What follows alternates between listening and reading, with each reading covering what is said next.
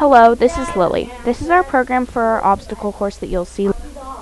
We have told our robot to follow the line, make a sound, follow the line, make another sound, use the ultrasonic sensor, and end.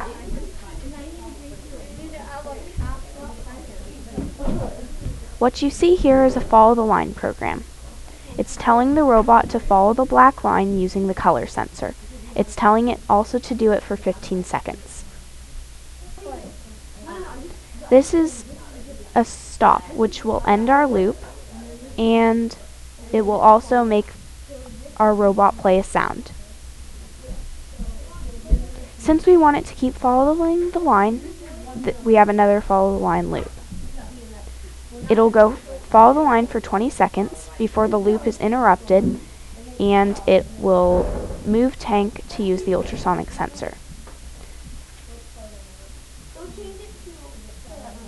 It will compare the distance and go backwards.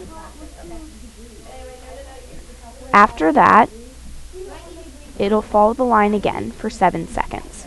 Before it we interrupt the loop, it stops and it plays a snake sound.